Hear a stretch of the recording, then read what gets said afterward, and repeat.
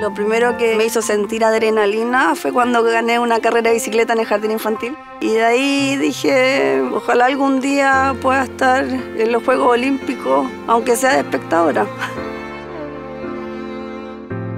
Mira, la vida es una y, hay que disfrutarla, hay que aprovecharla.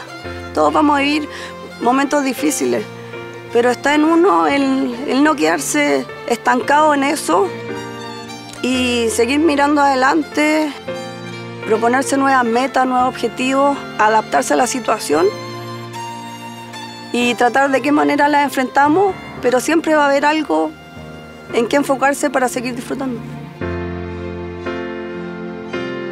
Y empecé con el lanzamiento de la bala, del disco y la jabalina y me especialicé en el lanzamiento de la bala. El año 2019 clasifiqué a mi primer mundial de, de paraatletismo. Salí campeona mundial, eh, hice récord mundial. Fue un momento súper especial, muy mágico. Y seguí adelante con el foco de poder llegar a los Juegos Paralímpicos de Tokio.